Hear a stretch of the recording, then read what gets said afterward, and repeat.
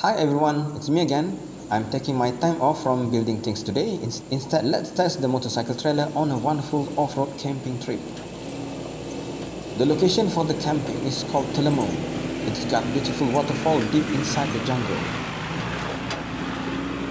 I park my truck halfway. From there, I load my camping gear into my motorcycle trailer.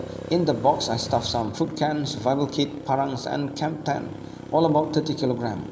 At once, when you enter the road towards the waterfall, you notice you will keep climbing step hill. This proves to be challenging when you drive 4x4.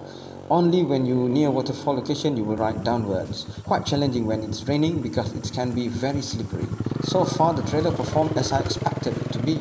Only I need to do something about the dirt splash over the box. Maybe a proper mud guard between the motorcycle tire and the box.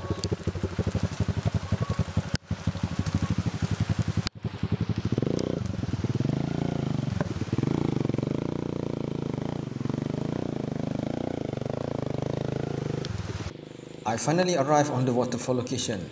Luckily that day there is no 4x4 team doing any camping trip at that site. Because of that, the serenity of that beautiful area are for me only. I can read books, burn barbecue, or maybe doing some fishing. The day is getting dark, better set my camp. I'm going to enjoy my time for now.